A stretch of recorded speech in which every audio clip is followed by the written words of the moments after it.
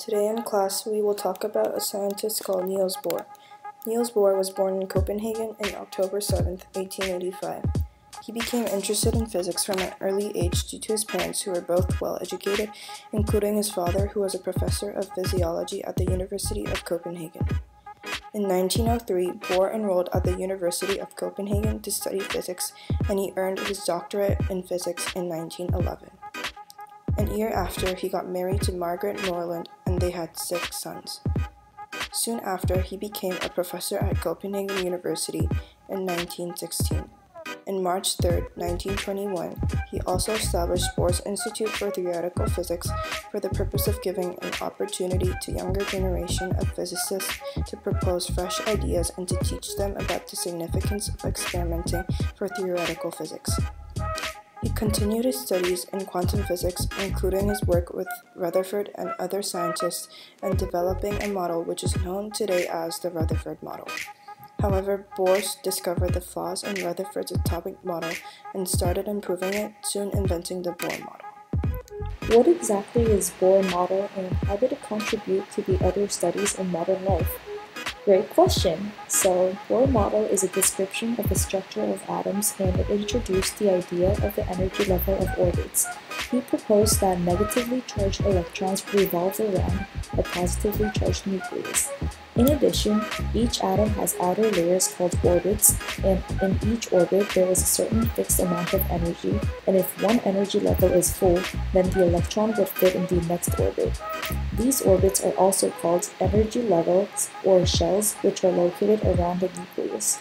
If the electrons are closer to the nucleus, then it needs less energy than the ones farther away from the nucleus, and the more protons there are in an atom, the more electrons an atom needs to cancel out.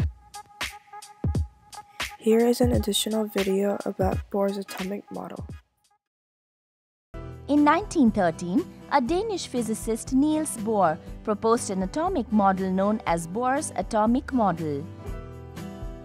In an atom, the electrons revolve around the nucleus in definite energy levels called orbits or shells. The maximum number of electrons that can be accommodated in a particular orbit is 2n to the power of 2.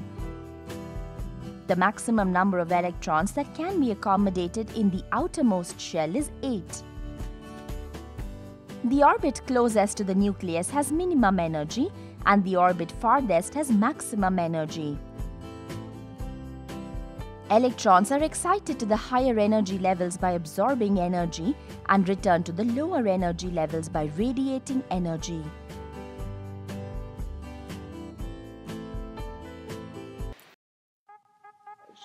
Responding to your second question, this model helps scientists understand not only the theoretical appearance of an atom, but it also explained how the different elements in an atom combine.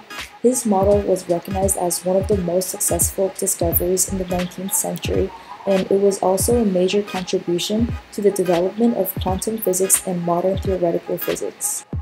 Professor Kim, can you please explain how Bohr's work was recognized as a successful discovery in physics, and what additional work has he done besides creating Bohr's model? Yes, Professor Park. In 1922, Niels Bohr received the Nobel Prize in Physics for his services in the investigation of the structure of atoms and of the radiation emanating from them, including his discovery of his own atomic model. Additionally, when World War II began, Bohr managed to escape from Sweden and stayed there for two years. In the last two years of the war, he moved to England and the United States and he was involved in the atomic energy project. Also, he and his Institute for Theoretical Physics started studying about the atomic nuclei in 1930. Instead of using his research to help countries develop nuclear weapons, he dedicated his work in atomic physics to help prevent the political problems that were arising from them. Thank you, Professor Kim. I'll bring it on from here. As an example of political issue that Bohr has contributed to resolve, he helped Jewish refugees escape from Hitler and Nazis during World War II.